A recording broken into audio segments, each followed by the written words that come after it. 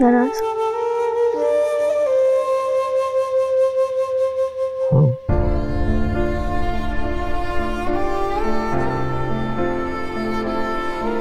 तुम्हें कभी किसी ने बताया तुम नाराज़ हो? बहुत अच्छा लगता।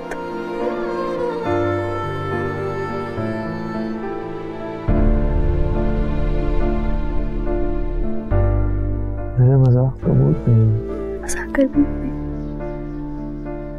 सच कह रही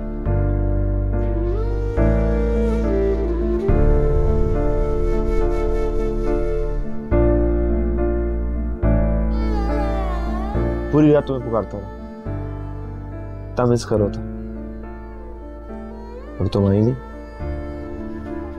अपनी मर्ज़ी से आती हो अपनी मर्ज़ी से चली जाती हो।